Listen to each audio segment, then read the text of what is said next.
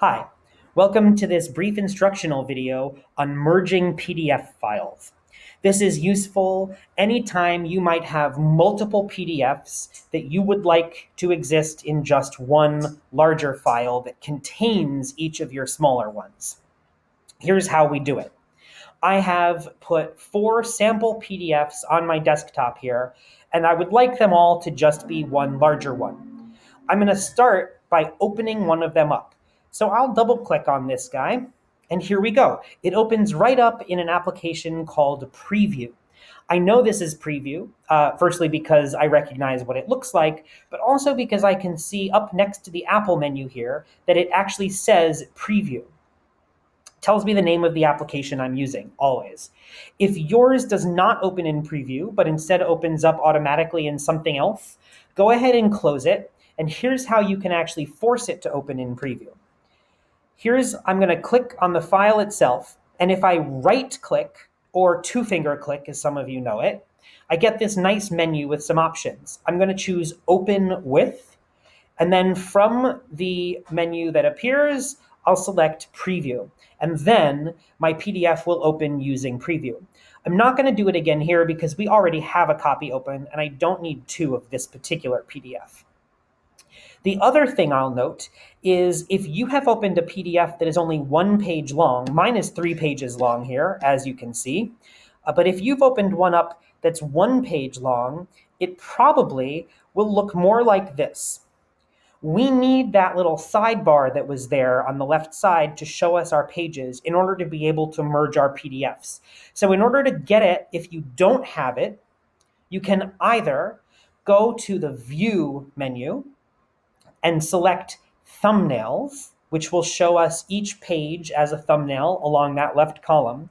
Or I could do the same thing by clicking on this icon right up here. So I can click here and I get those same options that were under the view menu. I choose thumbnails, and now here I see these small thumbnail versions of each page in my document. Now that I have this open, I can add some more. So here's my next PDF right below. And the easiest way to do it is actually just to drag it from where it exists on my desktop into my PDF here. And you'll notice that these pages move around to make room for it.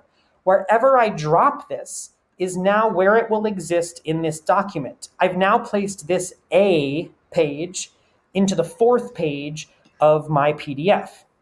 I can go ahead and do the same thing with my next one, which is a B page, and I'll just drop it right here.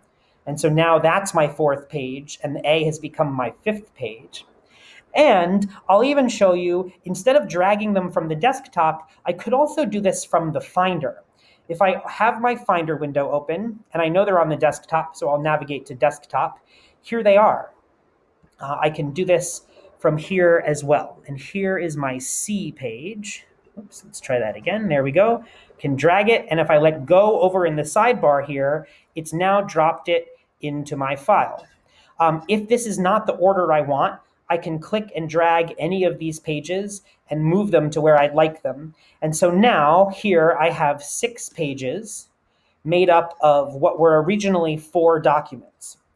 In order to get this out to be its own PDF now, all I have to do is go up to the File menu,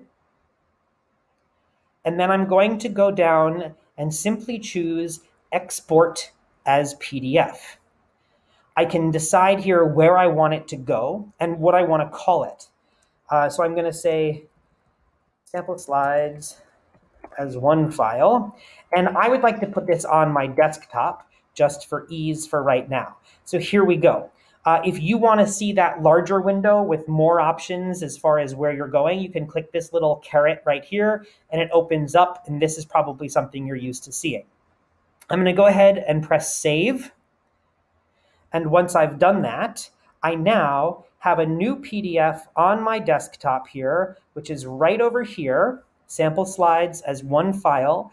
And when I double click to open it up, here I go. It is now six pages of the same document.